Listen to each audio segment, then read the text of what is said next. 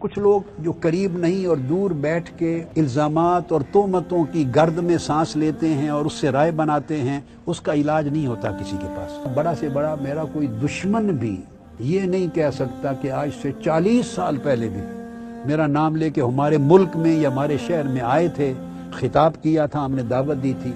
आखिर पे लिफाफे में हमने हदिया नजराना पेश किया था और उन्होंने कबूल किया था।